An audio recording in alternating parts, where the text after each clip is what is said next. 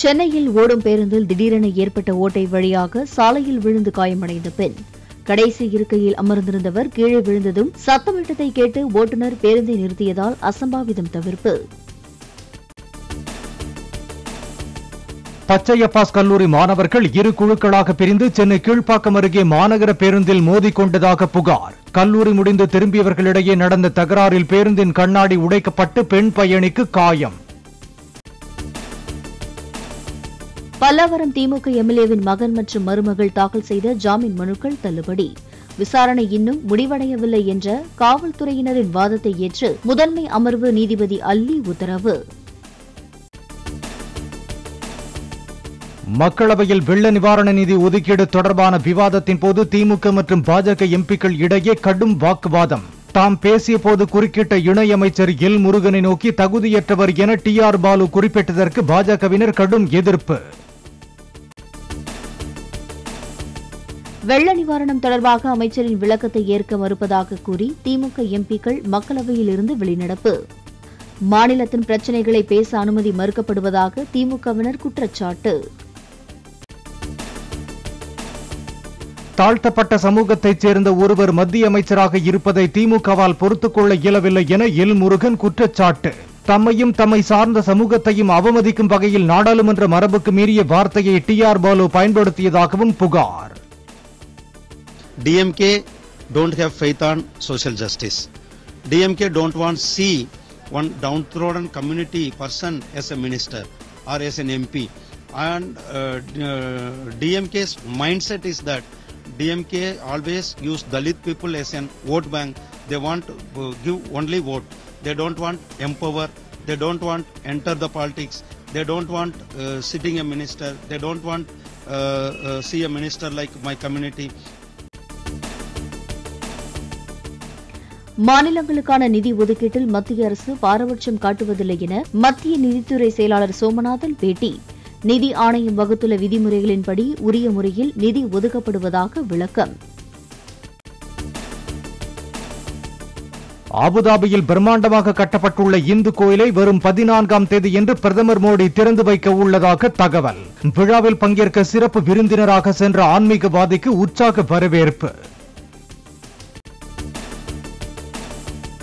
Spain நாட்டின் எடிப நிறுவனத்துடன் ரூபாய் ஐநூற்று நாற்பது கோடி முதலீட்டிற்கான ஒப்பந்தம் மேற்கொள்ளப்பட்டதாக முதலமைச்சர் ஸ்டாலின் தகவல். நோய் தடுப்பு ஆராய்ச்சி மற்றும் மேம்பாட்டு பணிகளில் ஈடுபட்டுள்ள மேப்ட்ரி நிறுவனத்துடன் பயனுள்ள கலந்துரையாடல் நடத்தியதாகவும் அறிக்கை. உணவுப் பொருட்களின் விலைவாசி கட்டுக்குள் உள்ளதாக மாநிலங்களவையில் நிதியமைச்சர் நிர்மலா சீதாராமன் தகவல். பருப்பு வகைகள் வெங்காயம் தக்காளி உள்ளிட்ட உணவுப் பொருட்களின் விலையை கட்டுக்குள் வைக்க உரிய நடவடிக்கை எடுக்கப்பட்டுள்ளதாகவும் விளக்கம். ராணிப்பேட்டை தொகுதியில் எண்மண் எண் மக்கள் யாத்திரை மேற்கொண்ட அண்ணாமலை. வரவேற்க வந்திருந்த கலைஞர்களிடமிருந்து மேளத்தை வாங்கி வாசித்து உற்சாகம். காணாமல் போன திரைப்பட இயக்குனர் வெற்றி துரைசாமியை பற்றி தகவல் அளித்தால் ஒரு கோடி ரூபாய் சன்மானம். இமாச்சல் பிரதேச மாநிலத்தில் அவர் சென்ற கார் சட்லஜ் நதியில் மூழ்கிய நிலையில் அவரது தந்தை சைதை துரைசாமி அறிவிப்பு. சென்னை ஐஐடி வரலாற்றில் முதன்முறையாக இரண்டாயிரத்தி இருபத்தி நான்கு இருபத்தி ஐந்தாம் கல்வியாண்டில் விளையாட்டு ஒதுக்கீட்டின் மூலம் மாணவர் சேர்க்கை. இளங்கலை படிப்பில் ஒவ்வொரு பிரிவிலும் இரண்டு இடங்கள் ஒதுக்கீடு செய்யப்பட உள்ளதாக இயக்குநர் காமக்கோடி தகவல். ஸ்போர்ட் ஆஸ்பிரன்ஸை என்கரேஜ் பண்ணி அவங்க ஒரு லெவல் ஆஃப் ஸ்போர்ட்ஸ் அவங்க அச்சீவ் பண்ணியிருந்தாங்கன்னா அவங்களுக்கு ஒரு ரெகக்னிஷன் கொடுக்கணும். அப்புறம் அது மாதிரி வர பசங்களுக்கு ஒரு டெக்னாலஜி இன்புட்டும் இங்கே கொடுக்க போகிறோம் அதாவது ஒரு ஸ்போர்ட்ஸ்மேன் வித் டெக்னாலஜி நாலேஜ் இப்போ ஸ்போர்ட்ஸில் இருக்கிற experience along with this technology experience வந்ததுன்னா பல யூனிகான் கம்பெனிஸ் உருவாக்குறதுக்கு இது ஒரு பெரிய ஸ்டெப்பிங் ஸ்டோனா இருக்கும். ஐஐடி பொறுத்தவரையில் நாங்க ஒரு கோர்ஸுக்கு ரெண்டு ரெண்டு சீட் இப்போ இன்ட்ரடியூஸ் பண்ணியிருக்கோம். புதிதாக கட்சி தொடங்கியுள்ள நடிகர் விஜய்க்கு ரஜினி வாழ்த்து. சென்னை விமான நிலையத்தில் செய்தியாளர்களிடையே கருத்து.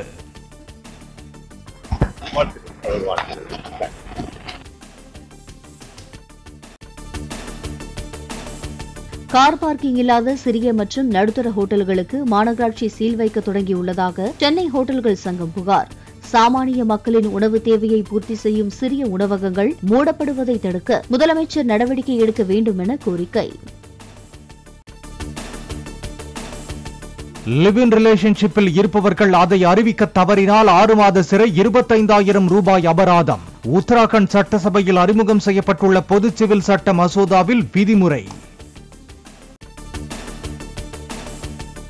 இந்தியா கூட்டணியில் மம்தா பானர்ஜி தொடர்ந்து அங்கம் வகித்து வருவதாக ராகுல் காந்தி கருத்து. நிதிஷ்குமார் தவிர பிற கட்சியினரும் தொடர்ந்து கூட்டணியில் இருப்பதாகவும் விளக்கம். பான் கார்டுடன் ஆதார் எண்ணை இணைக்காதவர்களிடம் இருந்து இதுவரை அறுநூறு கோடி ரூபாய் அபராதம் வசூலிப்பு.